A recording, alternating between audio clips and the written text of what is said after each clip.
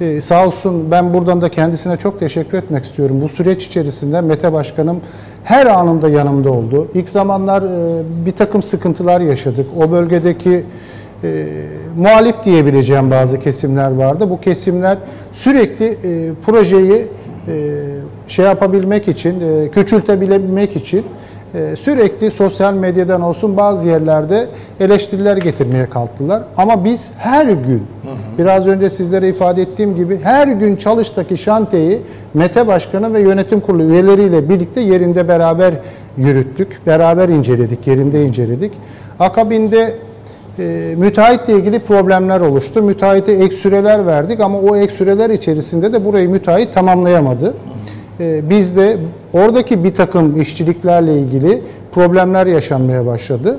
E, işçilik noktasında bazı e, ustalarla birlikte biz onlara destek vermeye çalıştık. Fethiye Belediyesi olarak. Belediye olarak değil, dışarıdan, Dışarıdan. bu işi bilen ustalara onlara tavsiye ettik ve onlarla birlikte çalışmaya devam ettik. Akabinde de verdiğimiz ek sürede de müteahhit burayı tamamlayamadığı için biz müteahhitin iş akdini feshettik. Şu an itibariyle e, orada e, tamamı bitmiş durumda ama e, yüzde beşlik bir e, şu an itibariyle projede yapılması gereken eksiklikler var. Onu da Rütuş diyebiliriz yani. tabii rütuşları da sezon bittikten sonra kendi personelimizle birlikte tamamlayacağız. Evet. Yaklaşık ne kadarlık bir projeydi başkanım? Şimdi yaklaşık- Kaça çıktı?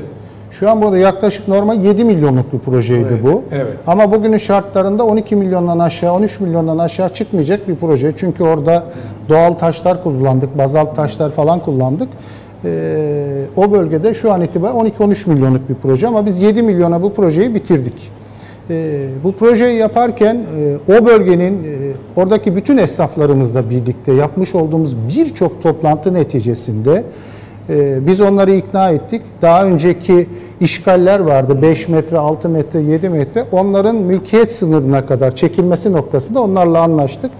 Ee, ve çirkin görüntülerin giderilmesi için de tip projeler hazırladık. Buradaki estetik komisyonumuzla birlikte, kent konseyi ile birlikte, Metay Başkanım ve ekibiyle birlikte oradaki tip projeleri uygulayaraktan e, şu an çalışa gittiğinizde Fethiye'mizin en nezih yerlerinden birisi oldu ve oradaki esnaflarımız şu an itibariyle müthiş iş yapıyorlar ve e, cumartesi akşamı kendim oradaydım. Bizzat bütün mekanlar dolu ve ge- gecenin ilerleyen saatlerine kadar da hayat orada şu an itibariyle devam ediyor. Ee, biz de yaptığımız işin ne kadar doğru olduğunu e, gittikten sonra, akşamları gittikten sonra orada anlıyoruz. Fethiyeli bütün yurttaşlarımızın e, çalışı akşam bir akşam gelip görmesini istiyoruz biz.